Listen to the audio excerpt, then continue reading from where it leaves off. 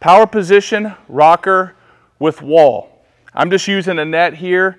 What we want to do here is control the head, putting the wall behind us, you know, something right here. We've talked about uh, trying to throw in a phone booth, throw through uh, out of a phone booth.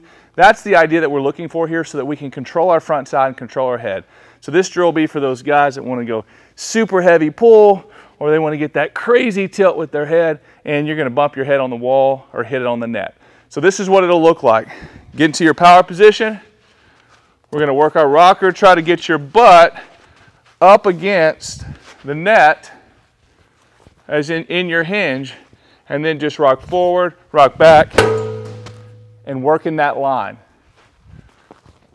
Forward, back, work that line. You may feel the towel hit the wall or touch your net, perfectly fine. What we want to do here is really control that head and control that front side.